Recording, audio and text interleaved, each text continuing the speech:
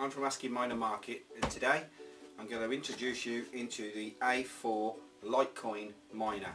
Now this is a low consumption of 345 watts. It comes with an A4 controller, an 8 gig SD card, three switch cables. These all do come in anti-static static bags. You do get the manual. Now, let's set up the controller. Yeah, the controller comes with six ports. We only need two today. So, I'm going to insert the first one like that. And I'm going to insert the second one just behind it. Like so. Yeah. I'm going to insert the 8 gig SD card facing top up into the controller like so. I'm also going to add my network lead.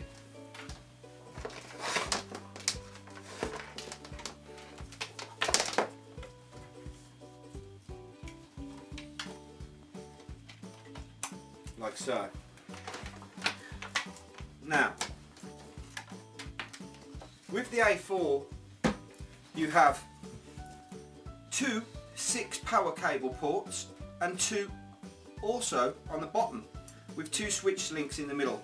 Now you can import any of these switch link cables to the A4 miner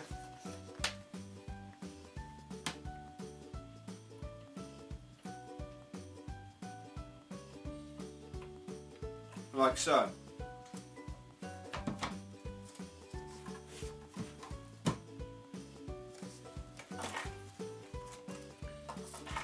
Now today I'm going to demonstrate the PSU with a Bitmain.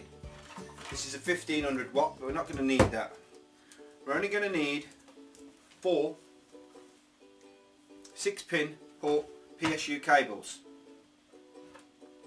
Now two on the top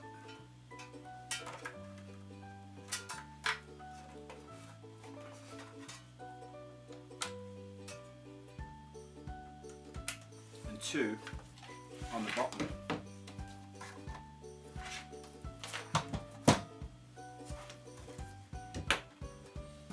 You're ready to power up.